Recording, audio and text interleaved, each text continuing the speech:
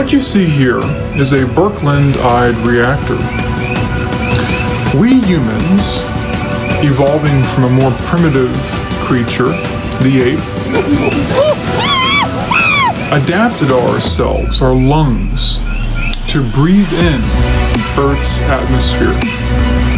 Earth's atmosphere is mostly nitrogen, some oxygen, and a little touch of argon.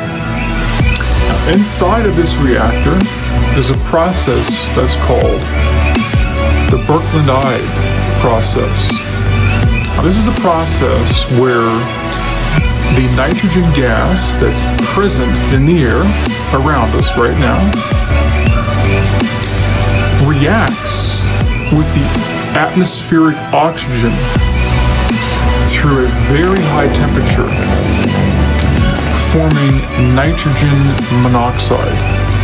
Now, this nitrogen monoxide gas further reacts with oxygen, forming nitrogen dioxide. Now you can see, if you look really closely, there's a brown gas within this chamber here. And that brown gas is a very toxic gas.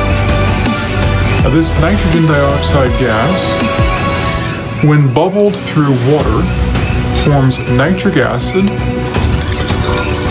and nitrogen monoxide.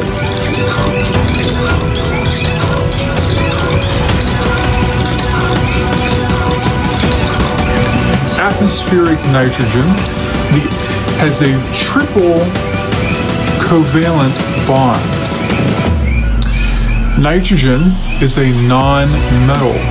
Outer shell of nitrogen contains five electrons.